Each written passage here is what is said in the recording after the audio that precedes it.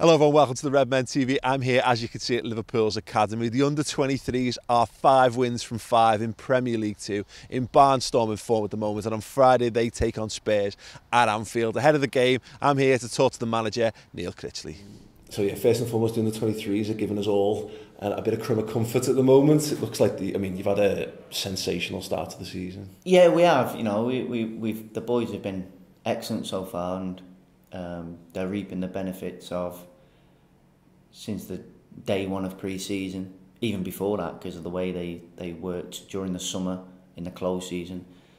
A lot of them came back in real good condition, and then um, their attitude and application during pre-season was first class, and uh, results breeds confidence, and the boys are full of confidence at the moment. Uh, we don't get too carried away when we're winning. We try not to get too down when we're losing, but so far so good. The boys have been uh, terrific to work with. Yeah. It, it must be a bit of a double-edged sword because uh, having, uh, I mean, the, the line of progression just looks so much more solid, almost as solid as it's probably ever been uh, from the academy to first team.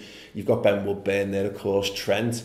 Absolutely flying. They, they just look like real special talents. Now, you can hold them up as shining examples. You no longer got lads from 15 years ago. It's great, yeah, Stevie, yeah. great Michael Owen, all that, but you've yeah. got examples right there. These lads are doing it. That must really make your job a lot easier. Yeah, definitely. When when there's current players who, you know, were at the academy, you know, 12 months ago, and they're, they're friends, they've played with them since, you know, under 8, under 9, all the way through.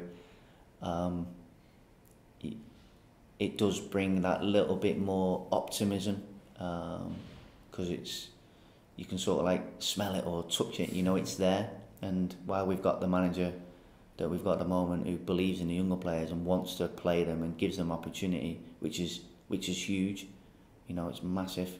Opportunity is is a real key to players development. Um, without that then the academy becomes nearly redundant we've got that at the moment. Outside looking in as well, in terms of where the club are using loans, I think you know going back a few a, a few years, it felt very much like if a player went out on loan, the writing was on the wall. This was more an effort in you, how you move them on from the club. Whereas, I mean, again, let's look at midweek. Look at Danny Ward, perfect example of this. He's come back and he looks a man. He looks yeah. absolutely ready for first team football. And is that uh, a sign of how the club how the club are getting better at, at handling these things, but also maybe just an example of how the the overall quality of the players coming through is improved as well.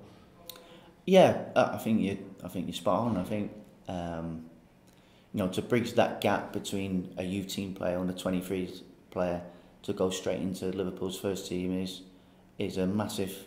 I think it's the biggest jump from all the way through the academy. You know, 16s to 18s, 18s to 23. I think the the biggest jump is to the Premier League. So sometimes, um, and the club recognises that they might need to bridge that gap, and a loan is perfect for that.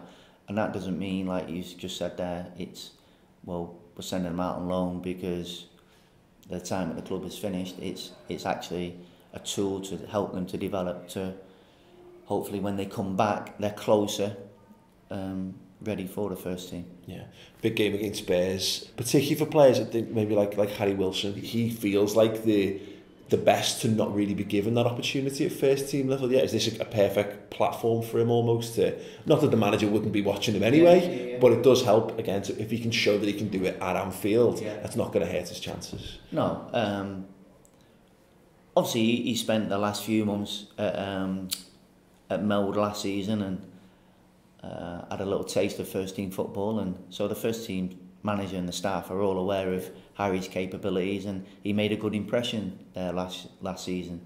Um, he had an interrupted pre-season because of injury. Um, he's hit the ground running. When he's come back from injury, he, he was flying Monday night. So playing at Anfield and putting in a good performance certainly won't do his um, uh, chances any harm for the future. But we we've got to be got to also just remember that he has just been out for the whole of pre-season. He's going to need a little bit of time as well, but um, we'll have to revisit his um, pathway or his plan come come January when the transfer window opens again. Yeah, absolutely. Well, listen, all the best. Good luck Thank for you. the good luck for the game. Good luck for the rest of the season. Thank you very much.